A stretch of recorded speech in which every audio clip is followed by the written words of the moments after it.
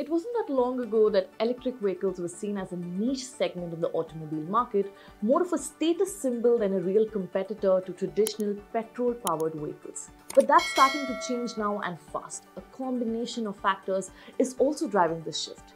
We've got low cost and better technology, rising crude oil prices, and a serious global push to curb carbon emissions. Now, these factors are not only boosting the growth of the electric vehicle sector globally, but also right here in our own country. And of course, as investors, when we see a big theme like this playing out, our natural instinct is to look at which companies are best positioned to capitalize on this opportunity. So in this video, we're going to dive into the major players in the EV industry. We'll explore how the EV market is expanding, the challenges that still needs to be addressed, and most importantly, how you as an investor can strategically play the EV theme. Let's begin. You're watching Informed Investor, initiated by Equentis.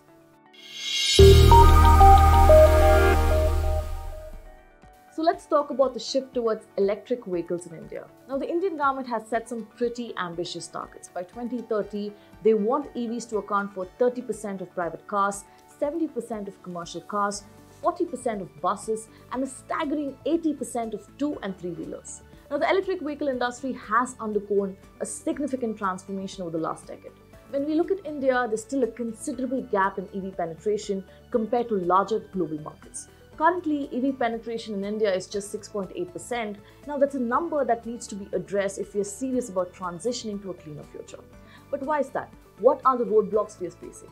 Now, one major hurdle is the lack of robust charging infrastructure. Now, in simple terms, charging infrastructure refers to the network of EV charging station and battery swap stations that we need to refuel our electric vehicles reliably while on the road. Unfortunately, in India, there's a significant gap here and it's holding back widespread adoption of EVs. Now, think about it. If you compare the ease of finding a petrol station to finding a charging station, there's a noticeable difference. Now, petrol stations are everywhere, but charging station, not so much. Now, this scarcity is a major barrier, and until it's addressed, we're going to see slow growth in EV adoption. Now, let's talk about something even more fundamental power supply.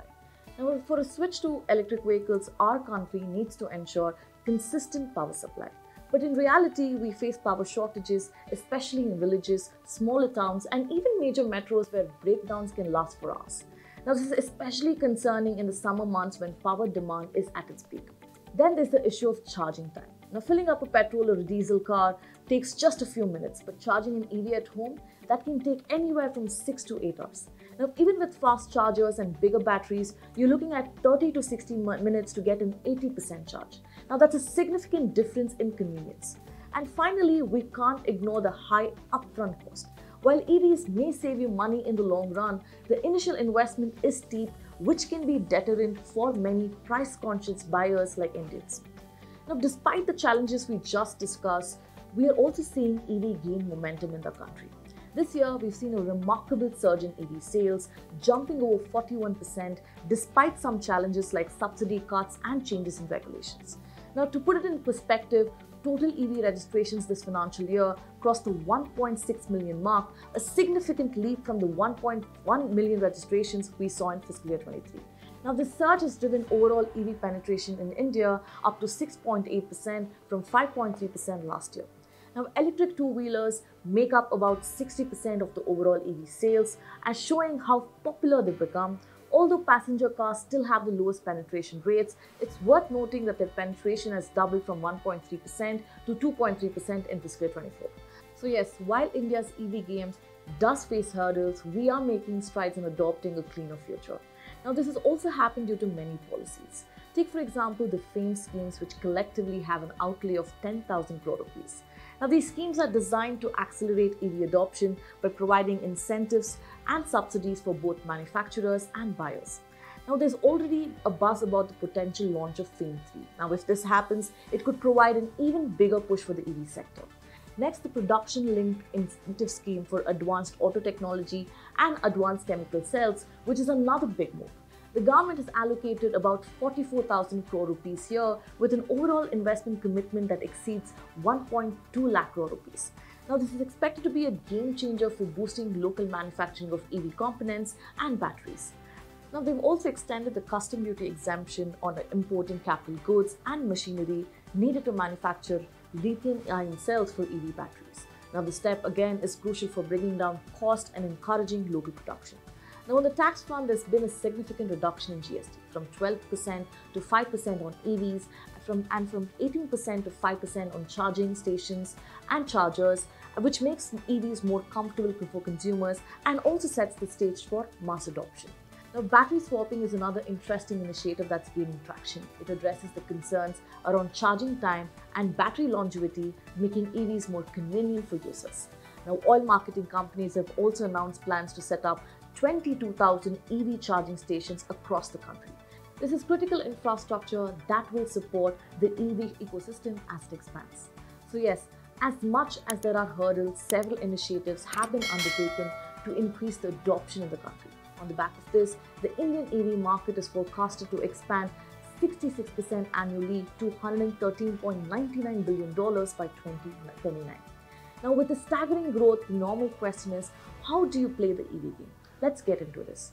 Now, when we talk about playing the electric vehicle game, we're looking at an entire ecosystem that's transforming not just transportation, but also the way we invest. Now, for every investor, whether you're a seasoned or someone just getting started, understanding the EV game can offer some compelling opportunities. Now, the EV ecosystem is vast, and it's essential to recognize that the growth of electric vehicles isn't just about cars themselves, but about every stage that brings the EV to the market and beyond. It's a process that starts right from the ground, literally. First, we have raw material extraction. This is where we get essential elements like lithium, cobalt, nickel, and other materials that are critical for building EVs. Now, during processing, these raw materials are refined and prepared for the next big step manufacturing. The processed materials are then used to provide various components of the vehicle. We're talking about everything from an electric motor and transmission to the batteries, to electronics, to the braking system, to the structural components, and even the wheels and tires. Now, each of these parts play a crucial role in how the vehicle operates. Now, after manufacturing, it's time for the final assembly. This is where all these individual components come together to form the EV that we see on the roads. So, when we talk about companies in the EV space, we can classify them as upstream, midstream, and downstream. Now, upstream includes the companies involved in the extraction and processing of raw materials like lithium, cobalt, nickel, which are crucial for battery production. Now, investing in these companies means you're betting on the increasing demand for these materials as EV production ramps up globally and domestically. Now, in midstream, we are looking at companies involved in the development and manufacturing of battery components, EV technology, and automation systems. Now, these businesses are at the heart of EV revolution, focusing on innovation that improves battery efficiencies, reduces cost, and enhances vehicle performance. Now, this segment also includes companies producing the software and hardware that drive autonomous and connected vehicle technologies. For example, Amara Raja Energy and Mobility Limited is involved in battery manufacturing and energy storage solution. Now, so is Exide Industry Limited, which is one of the leading manufacturers of battery. Then you have KPIT Technologies, which provides software solutions for autonomous and connected vehicle technologies. Now, L&T Technology Services and Tata Technologies also offer engineering services for EV and hybrid vehicles. Finally, the downstream sector involves the auto manufacturers themselves, including both legacy automakers transitioning to EVs and new companies solely focused on electric vehicles. Now, this is the most obvious choice for investors who want to play the EV opportunity. Now, automobile companies which are manufacturing EVs are in the two, three, and four wheeler segments. Now, the four wheeler segment includes Tata Motors, while the two and three wheeler segments have TVS Motors, Bajaj Auto, Hero MotoCorp, among others. Now, another way to play the electric vehicle game is to invest in the Nifty EV New Age and Automotive Index. Now, this index is designed to track the performance of companies that are actively involved in the EV or New Age automotive vehicle segment. Now, this index provides exposure to a diversified range of companies within the auto and related segments, ensuring that the investment is spread across various aspects of the EV and new age automotive industry. Now, this index selects 33 stocks from Nifty 500 index. These companies must be engaged in the production and supply of electric or new age automotive vehicles, batteries, components, raw materials, and technologies. Now, this ensures that the index captures a broad spectrum of businesses contributing to the EV ecosystem. Now, among the sector, automobile and auto components have the highest weightage in the index, followed by information technology, chemicals, etc. And when it comes to companies, Tata Motors has the highest weightage, followed by other traditional OEMs like Maruti Suzuki, Bajaj Auto, Mahindra and Mahindra, etc. Now there are two stocks that we want to talk about that has performed exceptionally well. One is from the upstream, the other is from the downstream. The first stock we are going to talk about is a chemical company. Now, India's chemical companies are starting to venture into the electric vehicle battery value chain, which is essential for the future of EVs. Now, one of the companies leading this charge is Himadri Specialty Chemicals. If you see this chart, the company has given spectacular returns, growing more than 500% over the last five years. And over the last one year, it's gone up by a whopping 165%. Now, Himadri, founded in 1987, has built a strong reputation and manufacturing carbon materials and chemicals. Now they're known for products like coal tar, pitch, carbon black and specialty oils. But now they're making a significant shift towards the lithium ion battery market, which is crucial for the growing EV industry. Now, as the automotive sector races to manufacture electric vehicles at low cost, the batteries, which represent the most expensive component, has become a focal point. And they're also expected to grow at a CAGR of 33%. Now, one of the key materials in lithium ion batteries is lithium iron phosphate. Now, since these batteries are heavily used in electric vehicles, having a domestic supply chain for these components is a big deal. Now, in December 2023, Himadri announced a bold plan. They're investing 48 billion rupees over the next 5 to 6 years to set up a manufacturing facility dedicated to lithium ion battery components. Now, Himadri plans to produce 200,000 tons of lithium iron phosphate is expected to be operational by quarter 3 of fiscal year 27. In addition, Himadri also continues to invest in startups working on lithium ion electrode materials. Now, it has a 12.79% stake in Australian startup Sicona, which is working on silicon based anode material. The company has also taken a 40% stake in a startup called Invati Creations, which is engineering lithium ion electrode materials for efficient energy storage. Himadri also aims to double their profits by fiscal year 27 through better margins, more sales, and value added products. They're also not planning to raise any additional debt or dilute equity in the near future. Instead, their focus is on projects that drive their return on capital employed to about mid 30s. So, in a nutshell, Himadri is making strategic moves to become a key player in the EV battery market, positioning themselves to capitalize on the booming demand for electric vehicles. Now, next company will talk about something all of us are aware of, which is Tata Motors. Now, this is a company that's built a solid reputation over the years for producing quality and reliable vehicles. Their strong brand recognition has really worked in their favor, helping them attract a loyal customer base and maintain their position as one of the largest automakers out there. Now, if we focus on the electric vehicle space, Tata Motors is leading the charge quite literally.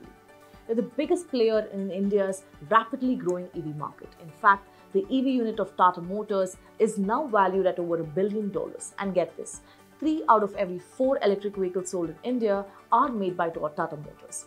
They've also achieved the highest market capitalization among all Indian automobile majors. When we talk about their product lineup, it's quite extensive. They offer everything from commercial vehicles to passenger cars and luxury vehicles like Jaguar Land Rover. And they've also recently made a strong push in the electric vehicle market. On top of that, they're also involved in vehicle financing through Tata Motors Finance. Now, Tata Motors is also the market leader in India's commercial vehicle segment and ranks among the top three in the passenger vehicle market. Now, let's dive into some numbers. Now, a significant chunk, around 71% of Tata Motors revenue, comes from the JLR segment. Commercial vehicles make up about 16.5%, and passenger vehicles account for about 10%. The rest, which includes IT services, insurance, broking, vehicle financing, contributes around 1% of their revenues. Now, moving on to the electric vehicle story.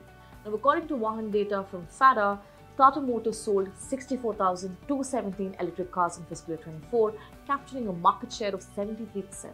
That's slightly lo- lower than the 83.9% share they had in fiscal year 23, which also shows that competition is catching up, but Tata Motors is still the leader by a wide margin.